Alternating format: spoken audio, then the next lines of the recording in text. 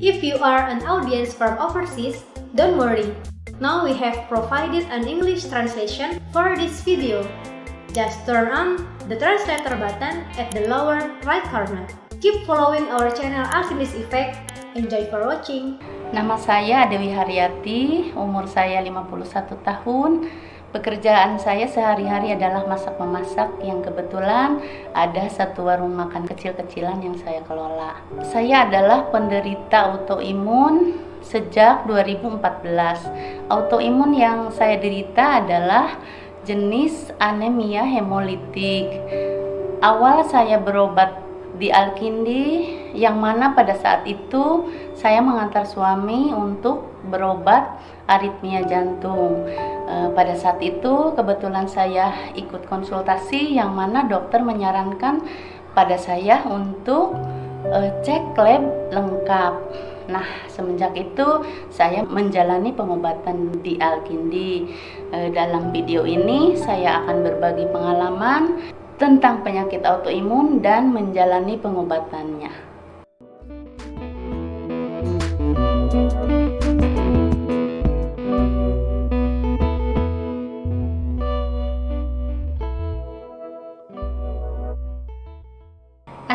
pemirsa, kembali lagi dalam channel Alchemist Effect. Kali ini saya Dr. Ayu ditemani dengan narasumber kami yaitu Ibu Adewi Haryati yang merupakan salah satu penderita autoimun yang berobat di klinik Alkindi. Kita akan mengajukan beberapa pertanyaan dan berbincang-bincang dengan beliau. Mudah-mudahan banyak hal bermanfaat yang bisa kita dapatkan. Assalamualaikum. Waalaikumsalam warahmatullah. Bagaimana kondisi hari ini? Alhamdulillah sekarang lagi enak, lagi baik-baik aja. Lagi sehat ya? Ah, Gimana? ah. Masih sibuk masak-masak nggak? Masak-masak masih, Mhm. masih tetap tuh kesibukan yang sudah saya jalani ya setiap hari. Nggak ada kendala ya? Nggak ada, insya Allah nggak ada. Oh iya nih Bu Ade, kita kan Hmm. sekarang lagi ngebahas tentang penyakit autoimun. Iya. Nah, kami terutama saya, Mhm. saya mau nanya nih tentang Hmm. gejala-gejala yang waktu pertama kali Ibu Ade rasakan. Mhm. Terus gimana sih ceritanya kok bisa tahu bahwa penyakit yang diderita ini adalah penyakit autoimun? Mhm. Karena terkadang banyak sekali pasien-pasien yang nggak tahu bahwa penyakit yang dideritanya ternyata adalah autoimun. Iya, baik. Saya akan berbagi pengalaman ya. Pada awalnya memang eh, yang saya derita itu sudah cukup lama dan saya juga tidak menyangka kalau ini autoimun. Eh, pada saat itu ketika saya mengantar suami ke Alkindi, kebetulan suami saya itu menderita aritmia jantung. Nah, di situ eh, suami saya menyarankan untuk saya ikut konsultasi. Nah, dari situ kebetulan pada saat itu juga mungkin boleh dibilang lagi kambuh kali ya Hmm. penyakit saya Hmm. itu yang mana saya itu terlihat sangat pucat. Sangat pucat. Ah, ah, muka saya sangat pucat. Kemudian yang sangat terlihat banget itu adalah seluruh muka saya termasuk telapak tangan Hmm. saya itu kelihatan berwarna kuning. Saking pucatnya. Saking pucatnya. Betul. Nah, dari situ kemudian suami saya menyarankan untuk ikut cek. Hmm. Nah, dari situ dokter menyarankan untuk saya eh, general check up ya. Hmm. Jadi periksa lab lengkap Hmm. di situ. Kemudian setelah didapat hasil lab itu tadi, baru di situ saya dinyatakan sama dokter terindikasi penyakit autoimun. Nah, Bu Ade, untuk pemeriksaan laboratorium yang diminta oleh dokter pada saat itu apa saja ya? Waktu itu saya disarankan, waduh banyak ya itemnya, cuman untuk yang saya ingat persis adalah poin-poin yang harus banget diperiksa adalah hematologi lengkap, kemudian eh, ANA IF, kemudian IgE total, CRP, dan LED. Nah, kemudian di situ ternyata hasil pemeriksaan itu sendiri didapat HB saya 5,5 Mbak. Turun sekali ya? Iya Hmm. banget turun. Kemudian yang paling sangat eh, penting untuk ke- menyimpulkan, oh, dokter menyimpulkan an- autoimun itu sendiri adalah ANA-IF-nya itu positif, gitu ya. Kemudian ditambah juga IG totalnya itu 366, yang mana untuk normalnya ya itu di uh, adalah kurang dari 87 gitu. Uh, kemudian setelah itu maka dokter menyimpulkan bahwa saya menderita autoimun. Jenis autoimunnya? Untuk jenis autoimunnya karena mungkin disimpulkan dari HB saya hmm. yang rendah ya, karena banyak sekali ya jenis autoimun itu uh, dokter bilang autoimun anemia hemolitik. Anemia hemolitik adalah suatu kondisi di mana antigen dan antibodi menyerang sel darah merah sehingga sel darah merah hancur sebelum waktunya. Jadi betul ya, jadi tadi yang Bu Ari katakan bahwa hemoglobinnya lebih cenderung turun terus iya ya? itu turun banget masya allah apa yang dirasakan waktu itu bu yang sangat dirasakan itu lemes ya lemes aja lemes kemudian karena di situ dokter juga melihat bahwa saya kan tidak memperhatikan mm -hmm. ya karena tidak mengerti e, dokter sendiri yang melihat saya sangat pucat ya. Itu yang dirasakan. Kemudian satu lagi lemes sekali. Oh, lemes ya ya terkadang uh, gejala-gejala dari anemia itu selain lemas ada juga pusing mm -hmm. atau ada rasa berputar terutama pada saat perubahan posisi. Mm -hmm. tapi itu nggak dirasakan? Saya enggak mungkin lebih ke tadi ada hasil IgE totalnya itu tinggi ya. Mm -hmm. itu malah itu yang muncul banget. Jadi ketika saya salah makan mm -hmm. ketika saya uh, ada cuaca lebih dingin hmm. habis itu gatal-gatal yang saya temui. Oh, jadi tapi ibu merasa nggak gatal itu pada saat cuaca dingin saja atau ada makanan yang masuk? Jadi Dua hal dan satu lagi mungkin yang penting ya suka lupa kadang-kadang stres ya kalau oh. biasanya stresnya terhadap stresnya mungkin kadang-kadang sepele ya mm -hmm. ketika kita bepergian uh, di jalan mengalami macet mm -hmm. atau hal-hal yang kalau kita pikir kan bukan hal yang ini banget. Nah, di situ kadang-kadang timbul atau satu hal lagi ketika ada sesuatu yang tidak kita sukai, mm-hmm. nah itu harus kita hadapi. Nah, itu yang paling sangat tidak saya sukai itu. Jadi semuanya mempengaruhi ya, iya, sangat stress, mempengaruhi makanan, mm-hmm. dingin gitu ya. Ya, betul. Bu Ade, mm-hmm. ketika pertama kali Ibu mendengar bahwa Ibu menderita penyakit autoimun, apa yang paling dipikirkan pada saat itu dan apakah autoimun ini di dalam pikiran ibu merupakan penyakit yang bagaimana? Mungkin saya ingin tanyakan kepada ibu. Baik, uh, yang saya pertama dengar pada saat itu ya, uh, kayaknya serba ada deh. Panik juga ada, tapi santai juga ada. Cuman saya lebih pasrah aja kali ya, uh, terutama pada saat uh, dokter mengatakan bahwasannya autoimun itu penyakit yang cukup serius ya. Uh -uh, di situ cukup kaget juga. Tapi ya apa ya mau bilang apa kita juga cuma bisa pasrah aja dan berharap penyakit saya bisa diobati. Anda mengalami keluhan gusi berdarah, bintik kemerahan, mimisan, serta memar tanpa sebab? Segera lakukan pemeriksaan laboratorium seperti trombosit, si reaktif protein, anaprofil, laju endap darah, serta pemeriksaan USG untuk memeriksa keadaan hati dan limpa. Konsultasikan segera ke konsultan online kami di 0853 202020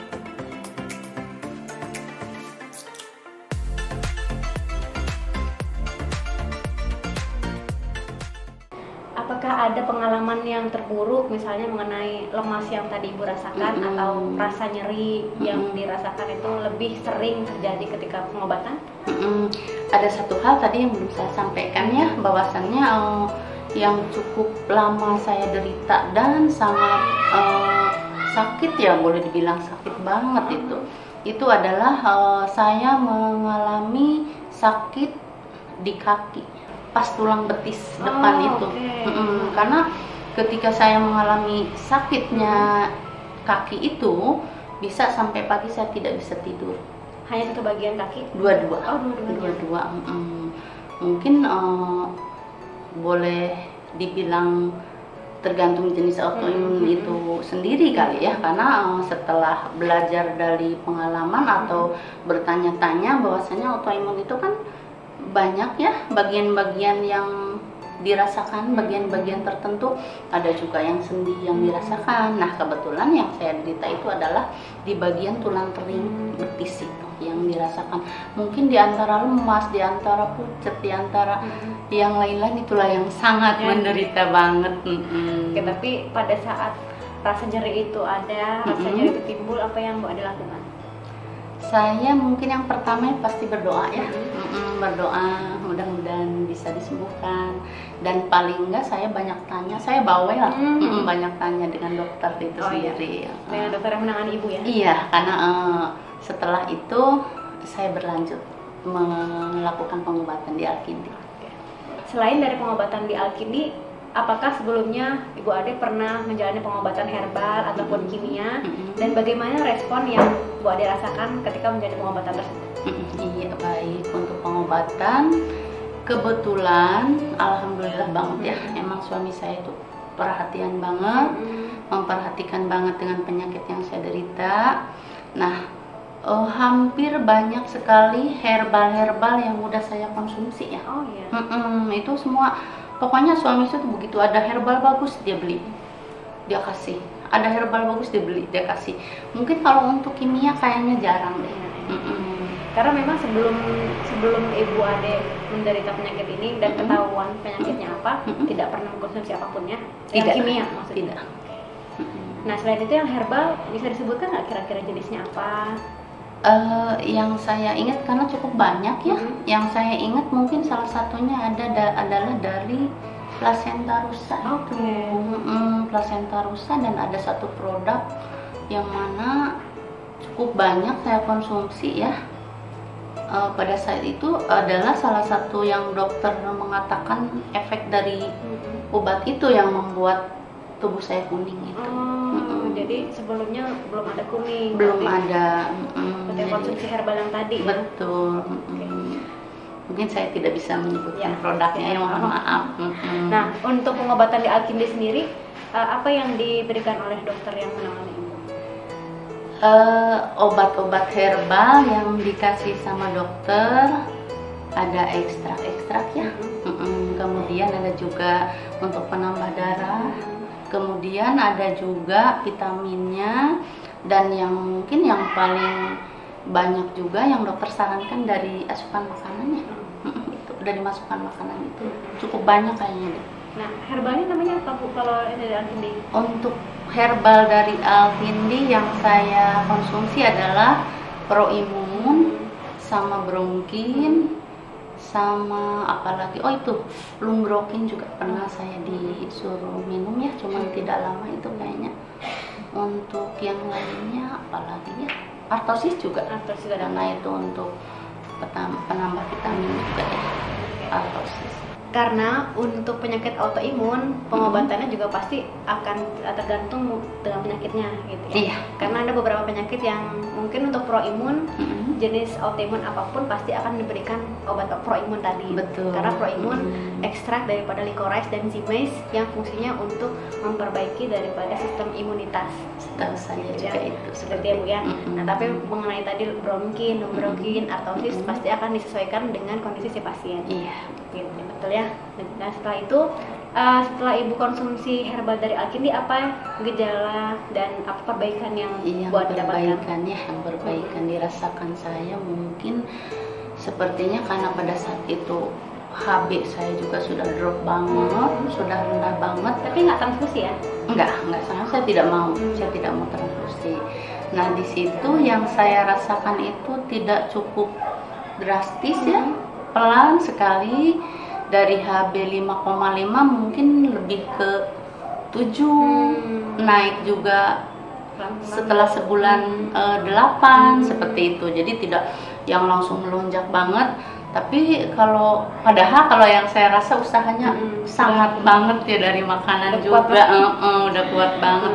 Cuma dari situ karena memang eh, semangat saya untuk sembuh ya untuk sembuh ya ada rasa khawatir ketika tadi diponis Mm-mm. autoimun tadi maka saya sangat semangat Ya, insya Allah jadi di situ tidak ada apa rasa gimana gimana yang penting saya apa yang dokter sarankan saya ikuti semuanya Oke, Tadi Ibu menyampaikan mengenai obat-obatan herbal yang telah Ibu konsumsi sebelum ke Alkindi. Mm-mm. Nah, saya mau tanya, apa sih yang yang membuat atau memutuskan Ibu untuk berobat ke Alkindi? Mm-mm. Saya sih cuman menurut dengan suami ya. Hmm, menurut sama suami karena suami yang memutuskan. Terlebih pada saat eh, ketika mendapatkan hasil-hasil lab yang sudah didapati itu. Jadi di situ ya kenapa nggak coba juga? Karena kan awal-awalnya beberapa herbal juga sudah saya lakukan ya. Toh tidak ada eh, Perubahan. perubahan. Maka dengan yang ini rasanya kok lebih jelas gitu ya dengan cek lab yang Hmm. tadi yang sudah didapati Jadi gitu terukur kan. ya Bu ya? Mm-mm, jadi terukur jadi mungkin lebih udah kejelasan aja ya Eh, mengenai suka dan duka Ibu Aduh. menjalani pengobatan di Alkindi. Sukanya apa dan kira-kira apa duka yang Mm-mm. dirasakan? untuk suka untuk dukanya dulu kali ya dulu. Mm-mm. untuk dukanya dulu yang mungkin lebih yang saya rasakan pantangan kali ya Oh iya, karena pantangannya memang banyak sekali. pantangannya banyak banget kalau untuk eh, masalah konsumsi Iya. obat saya tidak ada masalah Oke. tidak tidak ada masalah karena saya memang bukan tipe orang yang susah minum obat kali ya Alhamdulillah. ya. Nah, alhamdulillah cuma untuk pantangan karena saya ini orang Yang dulunya suka makan mungkin dikatakan jorok ya makanan saya itu apa juga demen ya. apa juga doyan itu yang sangat menderita banget gitu kan biasa kalau autoimun tuh nggak boleh makan daging Betul. gitu ya, yang, Mm. apa kue-kue Mm-mm. yang manis-manis betul nah apa sih yang bu ada yang pengen sekali bu makan yang yang biasanya bu makan tapi ternyata nggak boleh minum kopi kali ya? Oh minum kopi. Jadi, itu merasa kehilangan mohon maaf karena saya sangat suka banget dengan minum Uh-uh. kopi ya. Uh-uh. mungkin itu. Jadi merasa kehilangan ya Bu? aduh kayak kayak eh, anak bayi yang nyusunya gitu. Selain kopi ada? Selain kopi pedas ya kali ya. Pedas udah itu aja. Yang lainnya aman-aman aja. itu dukanya yang lebih ke pandangan duka mm, duka banget itu. Aduh masanya Oke. Eh, pembatasan protein misalnya ayam, ikan, putih telur. pembatasan itu banyak Mm-mm. untuk ikan sendiri hanya ikan kerapu yang boleh saya makan Oh, Uh-uh, karena itu kan ada alergi ya? atau- ada alergi tadi kalau untuk yang lain eh, ayam juga kan tidak boleh ya. Mm. Mm-mm. ikan-ikan semua Mm-mm. ya tapi itu untuk putih telur malah dianjurkan Mm. dianjurkan sangat banyak Mm. sebanyak mungkin tiap harinya Tapi kalau untuk ayam untuk Dibatasi? ayam dibatasi sangat dibatasi hanya yang boleh dimakan itu Dada ya? pada bagian dada itu pun mungkin tidak bebas ya atau tidak bisa setiap saat makan kayak untuk susu dan produk susu misalnya Bari suka nggak keju, Mm-mm. yogurt, es krim? saya kurang Kurang ya, Mm-mm. alhamdulillah karena Kurang terkadang saya. banyak juga pasien yang Mm-mm. merasa aduh saya nggak bisa minum. Apa susu lagi, Iya. makan es krim lagi Mm-mm. gitu karena produk susu tidak boleh Mm-mm. dan tidak disarankan untuk Iya. pasien Mm. autoimun. Kan tadi dukanya sudah disampaikan nih Bu Mm-mm. mengenai sukanya, kira-kira apa aja? Untuk sukanya mungkin saya sangat senang sekali berobat di Alkindi ya. Karena untuk penjelasan dari dokternya sendiri sangat sangat jelas jelas sekali ya. Dan mungkin yang paling penting sukanya itu perubahan daripada hasil pengobatan itu tadi. Nah, itu sangat sangat bersyukur banget ya buat saya. Karena eh, ketika pada awalnya dikatakan atau mendapat keterangan bahwasanya autoimun itu tidak ada obatnya ya belum didapati obatnya ternyata dengan pengobatan di Alkindi itu sendiri terlihat terlihat Ada perubahan? perubahannya itu tadi mungkin itu yang lebih sangat disyukuri ya atau lebih dikatakan sangat suka Kalau ibu konsultasi di Alkindi kira-kira menghabiskan waktu berapa lama bu? Satu kali konsultasi? Misalnya satu kali jam? Satu kali konsultasi ya Hmm. Eh, cukup lama ya Hmm. Mm, cukup lama karena di situ eh, dokternya sendiri ketika ada yang saya unek-unek saya tanyakan maka dengan jelas dan gamblang diterangkan sama beliau. Jadi nggak yang terkadang kita Oh, masuk tulis resep, resep gitu gitu. ya. Nggak, jadi semuanya itu.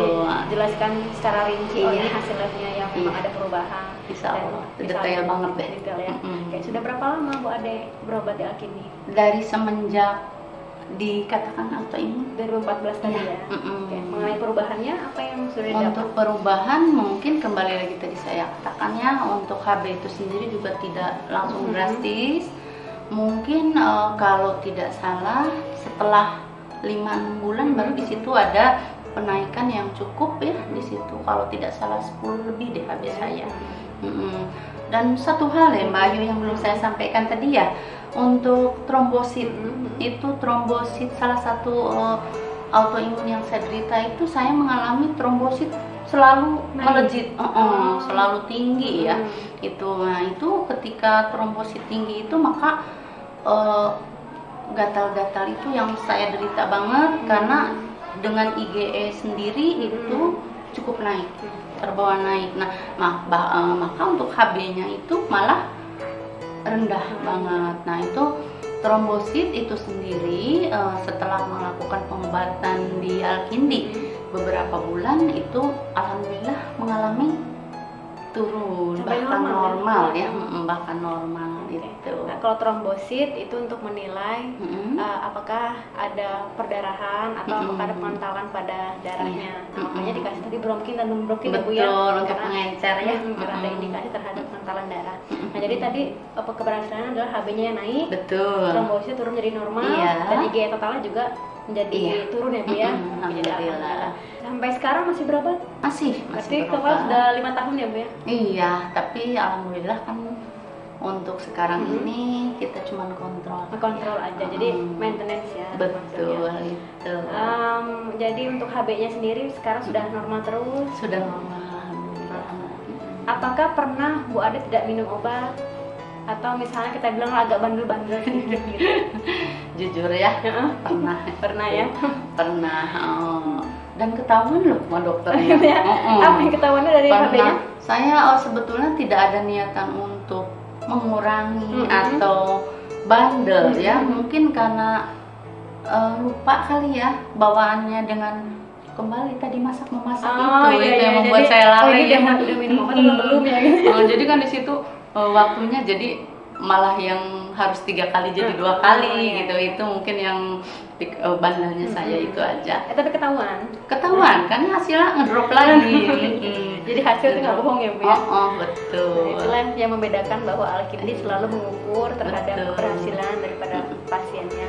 Iya. Apakah pengobatannya ini berhasil atau stagnan? Misalnya kita pasti akan selalu review. Iya, Ya. betul sekali. Pertanyaan terakhir nih Bu Ade. Iya. mm-mm, Ada nggak saran-saran untuk penderita autoimun yang lain mm-mm. uh, supaya kondisinya makin baik? Mungkin beberapa tahap ya Mm-mm. untuk penderita autoimun.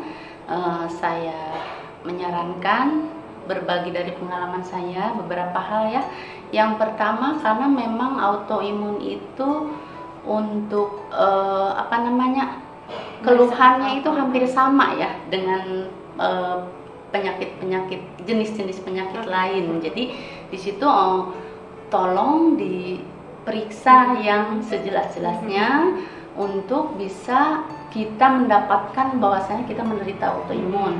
Yang mungkin salah satunya adalah kita eh, dir- disarankan rajin atau eh, untuk bisa kontrol ya atau cek lab yang rutin itu mungkin yang salah satu harus Hmm. semangat banget ya Cek labnya yang sama seperti Bu Ade ya? iya itu eh, jadi eh, jangan malas-malas untuk rutin cek ya. Heeh. Nah untuk pemeriksaannya tadi kurang lebih sama seperti Bu Ade yaitu anaif, ana Mm-mm. profile, LED, Iya. ya, CRP, Mm-mm. dan juga hematologi rutin untuk melihat apakah ada peradangan pada tubuhnya betul saat ini. sekali Jadi untuk jenis-jenisnya kita bisa lihat dari ana profile. iya Apakah autoimun ini jenisnya ketahuan ya. ketahuan itu misalnya sudah mengarah ke lupus atau tidak. iya Oke, nah untuk saran yang lain, Ade? saran yang lain mungkin jangan merasa aduh gimana nih autoimun ini? Oh, ternyata penyakit yang cukup berat ya. Atau mungkin banyak hal ya. Banyak hal yang harus kita uh, lakukan. Pertama kita juga tidak boleh stres ya. Jangan merasa kecil hati. Apalagi sampai merasa uh, tidak mungkin bisa disembuhkan atau tidak. Semua penyakit insya Allah bisa disembuhkan. Yang penting semangat daripada kita itu yang harus kita lakukan dan uh, tidak lepas juga dari pendukung barangkali ya, hmm. pendukung dari, dari sekelilingnya, suami, mungkin dari uh, keluarga, hmm. suami, istri, orang tua itu yang mungkin lebih uh, membuat hmm. mendukung juga ya, membuat semangat banget untuk seorang penderita autoimun itu uh, sangat dibutuhkan banget ya itu Mbak Ayu. Jadi uh, insya Allah untuk semua penderita autoimun semangat.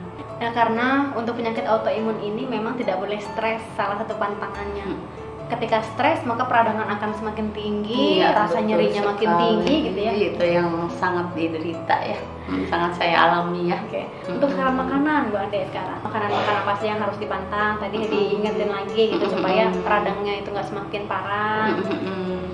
Kira-kira apa yang harus dihindari? Uh, uh, sepertinya mungkin itu kembali lagi tergantung jenisnya Mbak Yu ya. Hmm. Mungkin uh, kalau saya kan uh, itu anemia ya hmm. sama itu IG tadi.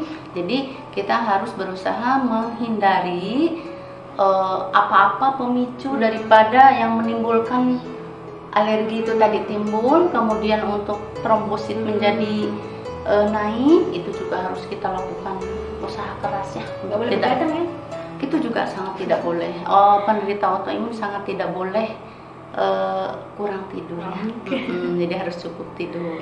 Jadi tidak boleh stres tidak boleh kurang tidur tidak boleh makan pantangan yang memang akan menjadikan pemicu.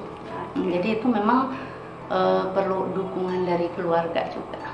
Itu ada lagi sarannya sarannya tidak ada tidak semangat ya. ya untuk uh, penderita autoimun insya Allah berjuang sama terakhir mungkin sembuh. obat ya bu ya mm -mm. nah untuk obat-obatannya penderita autoimun disarankan untuk menghindari daripada penggunaan uh, steroid ya betul sekali ya. karena uh, yang saya paham atau yang mungkin disampaikan dokter ya uh, kita kan pengobatan herbal hmm. ya Mbak Yu ya untuk herbal itu sendiri ketika dikombin dengan steroid tadi sayang dong. Mm -mm, akan merusak hasil daripada uh, apa tadi itu uh, khasiatnya itu tadi. Itu barangkali ya yang dapat saya sampaikan. Nah untuk mengenai steroid saya, saya tambahkan bahwa efek samping daripada steroid itulah yang kita khawatirkan. Misalnya seperti penekanan daripada sumsum tulang. Ya. nah pada pasien dengan HB turun penggunaan metil contohnya metoprednisolon, prednison itu justru akan menambah daripada penurunan HB-nya. Iya. Atau adapun pada pasien dengan trombosit yang turun, pada pasien ITP penggunaan metil dan prednison pun juga sama akan semakin menurunkan daripada produksi trombosit karena menekan sumsum tulangnya. Jadi uh, kami pasti akan membatasi atau sebisa mungkin tidak mengkonsumsi penggunaan steroid. Adapun jika sudah ada pasien yang memang sebelumnya sudah mengkonsumsi steroid, mungkin akan kami tapering off atau diturunkan secara perlahan. Karena uh, tujuan pengobatan di alkimi adalah untuk sangat meminimalisir daripada penggunaan obat kimia mm -hmm. dan kalau bisa tanpa menggunakan obat kimia jenis apa pun tapi menggunakan obat herbal terutama proimun. Ya. Terima kasih kepada Bu Ade yang telah meluangkan waktunya. Iya. Mudah-mudahan bermanfaat ya Bu ya. Insya Allah mungkin saya sedikit berpesan buat semua penderita autoimun ya. Buat saudara-saudara yang kebetulan Allah kasih ujian dengan penyakit autoimun, saya berpesan tetap semangat, jangan putus asa, eh, melakukan cek lab yang rutin dan e, dapat melakukan dengan semangat e, minum obat secara rutin begitu juga dengan pantangannya insya Allah. Semangat semuanya. Mungkin itu yang dapat saya sampaikan. Mudah-mudahan bermanfaat untuk semuanya. E, terima kasih. Kami berdua pamit undur diri. Wabillahi taufiq wal hidayah. Wassalamualaikum warahmatullahi wabarakatuh